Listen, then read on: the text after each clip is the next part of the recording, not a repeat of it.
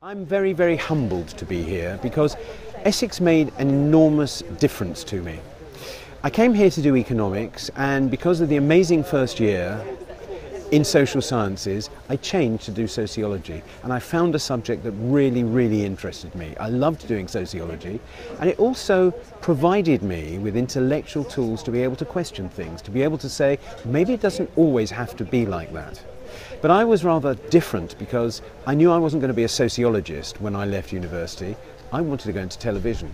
But it was the values that I learned while being here at a very turbulent time for the university that equipped me really when I started work to make the kind of programs that I made, which is that you don't accept the status quo, you don't have to accept the way it's always been done.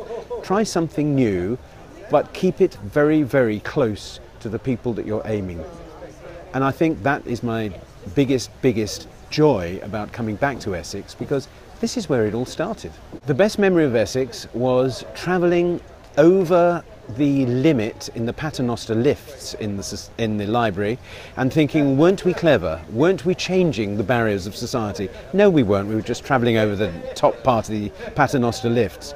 I think when I was here, the university only had 1,200 people.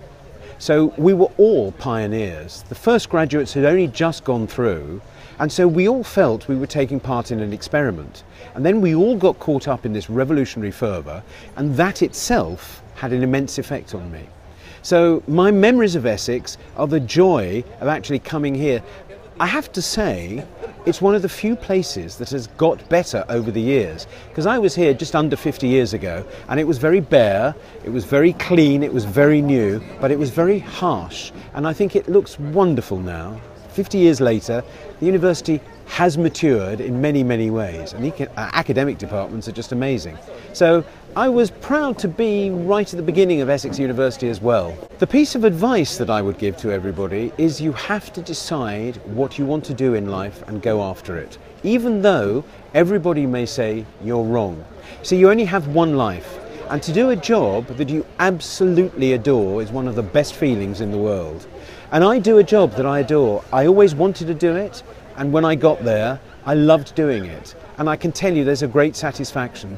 So even though there's harsh economic realities nowadays, you just have to do what you really want to do and then go and make a great job of it.